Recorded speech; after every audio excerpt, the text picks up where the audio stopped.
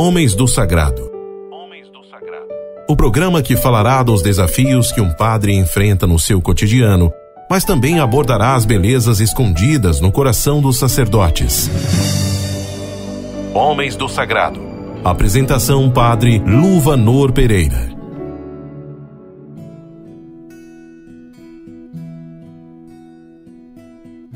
Em nome do Pai, do Filho e do Espírito Santo. Amém. Senhor, mandai bons operários à vossa igreja, mandai missionários e missionárias como convém que sejam, para que trabalhem de modo eficaz na vossa vinha. Pessoas, meu Deus, desapegadas de si mesmas, das suas comunidades e dos bens terrenos, não importa se em pequeno número, contanto que sejam bons. Senhor, concedei esta graça à vossa igreja Amém. Amado rádio ouvinte, você que nos ouve através das ondas desta rádio, também você que nos acompanha através das mídias digitais, é uma alegria estar com você mais uma vez neste penúltimo dia do mês de setembro, mais um mês que se encerra, e com ele a alegria de termos sido conduzidos por Deus de um modo especial pela Sua palavra.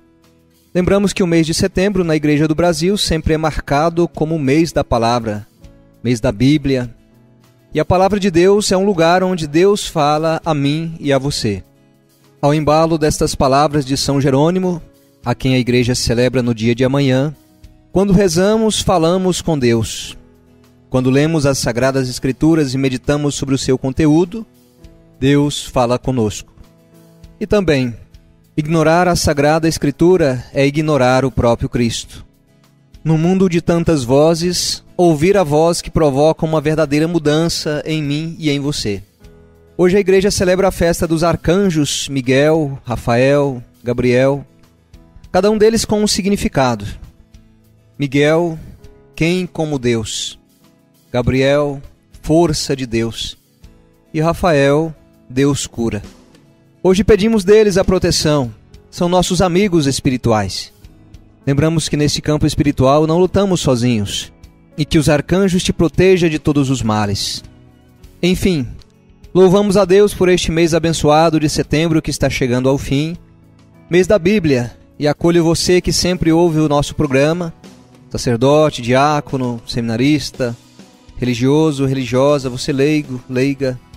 É uma alegria estar com você todas as quintas-feiras nesta hora te acolho com alegria e te convido a meditar o tema do programa de hoje. Hoje o tema do programa é a Palavra de Deus e o Canto da Sereia. Tenho tido a oportunidade de adentrar um pouco mais nos estudos aqui no Seminário Interdiocesano em Goiânia, de tal modo em livros pouco lidos, no entanto, livros que nos trazem uma mensagem muito atual. Hoje me permita falar um pouquinho com você sobre os livros de Tobias, Judite e Esther. Livros estes que estão dentro dos livros históricos antes da literatura sapiencial no Antigo Testamento. Interessante pensar o livro de Tobias como um grande ensinamento, um ensinamento tão atual, onde se ressalta a providência de Deus na vida de Tobit e também de Tobias, que vem através do arcanjo Rafael Rafael que traz então o milagre da cura da cegueira aos olhos de Tobit, que é o pai de Tobias. Além disso, podemos ressaltar a importância da pureza, de um modo especial aos casais. É nesse livro que temos uma oração bonita que Sara e Tobias fazem no leito nupcial. Hoje, num tempo onde o sexo se encontra tão deturpado, convém uma leitura do livro de Tobias para buscar esta pureza tão necessária também dentro do casamento. O livro de Judite ressalta a luta da mulher, de uma mulher corajosa que, pela força da oração, levou seu povo a conquistar a vitória sobre os inimigos. Lembrando que nesse tempo o povo judeu estava ameaçado na sua cultura, religiosidade e tradições. Aqui percebemos a importância da oração de uma mulher corajosa que tem algo a nos dizer para os dias de hoje. Já o livro de Esther mostra um grande exemplo de intercessora, mulher orante, que de uma simples judia passa a ser esposa do rei rei que inclusive queria destruir os judeus, os seus costumes, suas tradições. Ela, porém, se põe em oração, jejum e mortificação, e por essa atitude consegue a libertação para o seu povo. Muitas batalhas, amado radiovente, internauta, querido irmão, irmã, muitas batalhas são vencidas pela força da oração, do jejum e da mortificação. Dito isto, a palavra de Deus é sempre atual e provoca algo em mim e em você.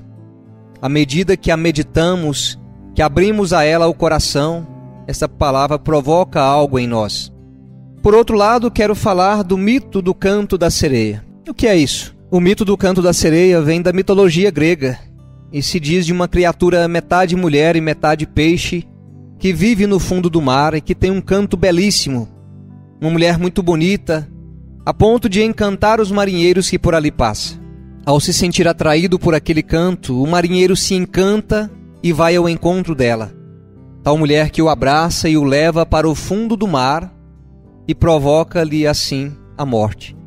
Quando lemos na literatura estrangeira a Odisseia de Homero, percebemos que Ulisses, um dos personagens principais do livro, pede que amarre a ele no mastro do seu navio para que quando ele passar pelo vale das sereias, ele não saia do seu lugar e assim se mantenha vivo.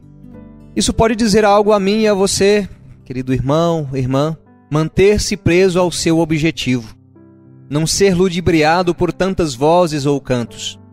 Hoje te pergunto: você tem ouvido a palavra de Deus que pode edificar e transformar a sua vida?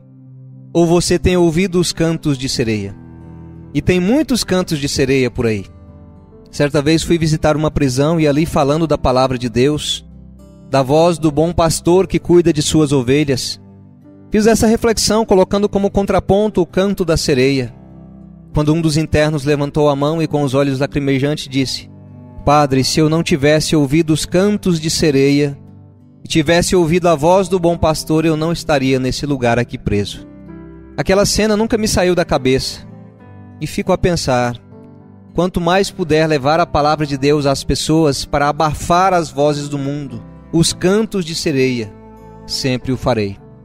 Hoje convido você a olhar o exemplo destas três mulheres, Sara, Judite, Esther, e compreender que a palavra delas e a oração que as mesmas fizeram não trouxeram morte, como foi no caso do canto da sereia, mas trouxeram a libertação e a vida. Deixo a você hoje a escolha: a palavra de Deus ou o canto da sereia. Qual você escolhe? Se faz tempo que você não medita a palavra de Deus, você que talvez nem tenha ido mais à missa ou visitado a capela do Santíssimo, hoje Deus te convida. Volta. Volta para o lugar de onde você nunca deveria ter saído. Deus espera com carinho a sua volta. Convido você hoje a finalizar este programa rezando comigo.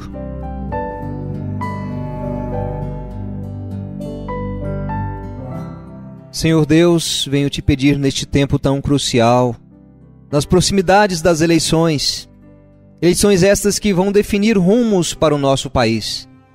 Que a tua palavra, Senhor, seja luz para que possamos votar bem no próximo domingo, pensando bem dos estados e desta nação, nação esta que nasceu com o nome de terra de Santa Cruz, e pelo poder das tuas santas chagas, e pelo poder misericordiosíssimo do teu sangue jorrado na cruz, Livra o teu povo, Senhor, de todos os males. Nós ouvimos, Senhor, aquelas mulheres que rezaram pelo seu povo e mudaram os rumos de sua nação. Te pedimos hoje pela tua palavra, homens e mulheres de boa vontade, venham em auxílio e socorro deste povo tão sofrido. Amém. Amém. E se você que nos ouve pela internet vê que esta mensagem pode edificar a vida de alguém, Peço a você que compartilhe o programa Homens do Sagrado, seja no canal da comunidade Coração Fiel, seja também no meu canal, Padre Luvanor, e assim esta mensagem possa atingir mais pessoas. Quem colabora com a evangelização também tem mérito de evangelizador. A você desejo um abençoado mês de outubro. Deus te abençoe em nome do Pai, do Filho e do Espírito Santo. Um fraterno abraço e até o próximo programa. Sacerdote, sal da terra, sacerdote, luz do mundo, assim falou Jesus. Sacerdote, outra missão maior do que a tua, maior que a tua é a do próprio Deus